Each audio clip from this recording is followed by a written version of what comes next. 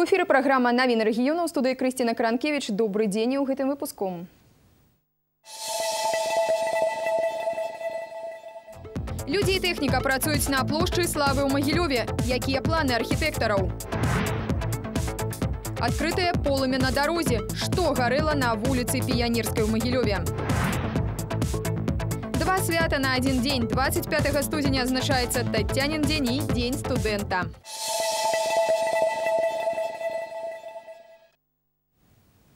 На плошчы славы ў Магілёве знімаюць абліцовачную плітку. Гэта толькі падрыхтоўчы этап да капітальнага рамонту, які абяцае падарыць плошчы новае аблічча. Работы на гэтым участку вядуцца з пачатку месяца. Акрамя стэлы тут плануюць адрамантаваць лесвіцу і падпорныя сцены, а таксама добраўпарадкаваць бліжэйшую тэрыторыю. Нават нягледзячы на маразы і тэхніка і людзі працуюць актыўна, старую гранітную плітку знімаюць уручную і кажуць, што яе будуць выкарыстоўваць для рамонту іншых объектов областного центра. Эти плиты э, значит, аккуратно снимаются, упаковываются э, на поддонах э, в клеенку, все оборачивается и значит, будет использоваться на других объектах э, в облицовке э, лестницы, вот планируется возле кинотеатра «Октябрь», ну и другие объекты. Здесь будет э, новая плитка. Апошні раз рамонт тут праводзілі 10 год таму. Па словах Сергея Старасоцкага, аблізовачныя пліты за гэты час прыйшлі ў аварыйны стан. Новыя гранітныя пліты будуць у ансамблі з балюстрадай, якую устанавілі летась.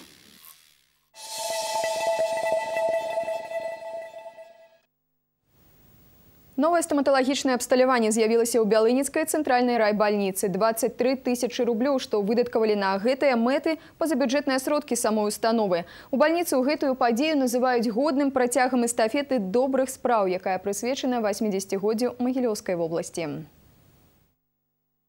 Жыхарка Бялынич Кацярына Назарова давярае спецыялістам раённай больницы, таму і новае стаматалагічнае абсталяванне вельмі порадовало. Мне приходилось лечить зубы как на старой установке, так и на новой. Новая установка уже более усовершенствована, беззвучно работает, комфортно себя чувствуешь. Штодня па зубных пытаннях тут прымаюць да 20 чалавек, але не менш за пацыентаў новай стаматалагічнай устаноўцы рады медыцынскія работнікі. Предыдущая установка, которая уже устарела морально, физически, она э, доставляла много хлопот и постоянно нуждалась в ремонте. Надеемся, что новая уже ремонта не потребует. На новую стоматологичную установку было выдаткавана амаль 23 тысячи рублей, что райбольница зарабила самостойно. До речи, увесь 2017 был плёны для Бялыніцкай центральной райбольницы. Повысить якость диагностики дозволил и новый рентгеновский аппарат, что набывали за кошт республиканского бюджета происходит цифровое передача изображения, поэтому качество лучше, чем в предыдущих. Ну и, соответственно, можно сделать где-то более контрастность, улучшить яркость, поэтому улучшается качество изображения. Планов, естественно, много. А, в 2018 году э, требует обновления э, реанимационно-анестезиологическое оборудование. Это аппараты э, искусственной вентиляции легких, легких, наркозные аппараты. Они у нас четыре аппарата, которые требуют замены. Планируем в этом направлении работать. На абслугоўванні бялыніцкай райбальніцы амаль 18 800 чалавек і важна, каб якусную дапамогу яны маглі атрымліваць на месцы. Дар'я Семянько, Віталь Алексеенко, навіны рэгіёна. С пачатку года ў дзіцячую абласную бальніцу даставілі больш за 20 малых з іншароднымі прадметамі ў страўніку ці кішэчніку. З падобнымі скаргамі ў лячэбную установу звяртаюцца кожны дзень, гаворыць загадчык эндаскапічнага аддзялення. На шчасце, не ўсе пацвярджаюцца ўрачамі, але падазрэнні бацькоў не пакідаюць без увагі, расказалі Кацярыне Гарадніцкай. Пацеркі, костачкі, садавіны, дэталі канструктара, а з увядзеннем у Беларусі монеты копейки стали частыми предметами, якія глытаюць дзеці. Катя, ты не представляешь, какие по объему штуки глотают. А, вот, посмотри, скрепку из, из трахеи. Гэту калекцыю збіраюць у эндоскапічным аддзяленні абласной дзіцячай бальніцы. Тут ёсць і колюшыя прадметы, батарэйкі, магніты, і яны, дарэчы, больш небяспечныя, чым монеты. Самое тяжелое и страшное, конечно же, это батарейки, потому что они вызывают серьезные осложнения, вплоть до э, затруднения прохождения пищи. Из последнего случая ребенок э, проглотил цепочку, от одежды. То есть за детьми всегда нужно смотреть, никогда их не оставлять одних. Одна з мер перасцярогі хаваць дробныя прадметы, а таксама ўсе небяспечныя вадкасці, бытавую хімію, воцат і пры любым падазрэнні абавязкова звяртацца да ўрачоў. Бо каб дастаць, напрыклад, востры прадмет ці шкло, неабходна спецыялізаваная дапамога. Кацярына Градніцкая, Мікалай Собаляў, навіны рэгіёна.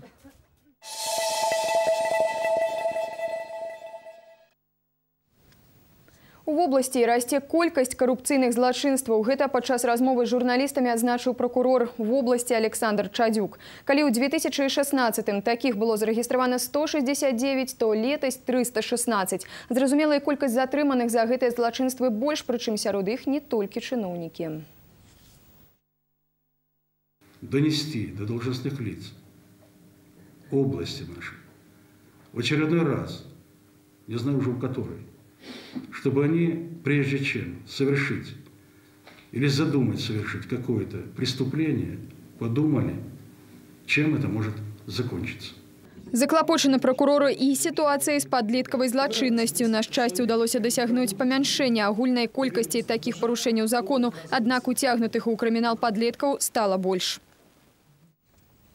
У Магілёве гарэў светлафор. Як паведамілі ў абласным управленні па надзвычайных сітуацыях у пачатку 10 раніцы на спецлінію 101 паступіла паведамленне пра ўзгаранне светлафора каля дома нумар 27 па вуліцы піянерскай. Калі пажарныя разлікі прыбылі да месца здарэння, аўтаматычны аб'ект, які рэгулюе дарожны рух, гарэў адкрытым полымем. Выратавальнікам спатрэбілася некалькі хвілін, каб ліквідаваць пажар. Цяпер спецыялісты высвятляюць прычыну згарання.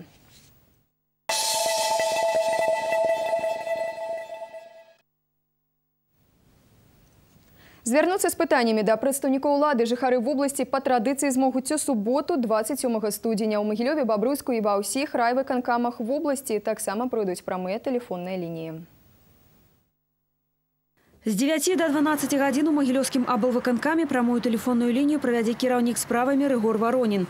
Калі у вас ёсць пытанні па кантролі за выкананнем дакументаў ці па рабоце са зваротамі грамадзян і юрыдычных асоб, тэлефануйце па нумару ў Магілёве 50 18 69. У магілёўскім гарвыканкаме ваше тэлефанаванне будзе прымаць намеснік старшыні Александр Веракса.